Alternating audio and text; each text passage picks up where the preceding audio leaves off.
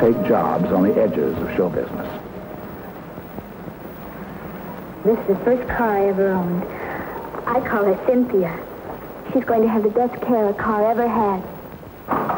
Put Royal Triton in Cynthia's little tummy. Right, lady. Cynthia will just love that Royal Triton.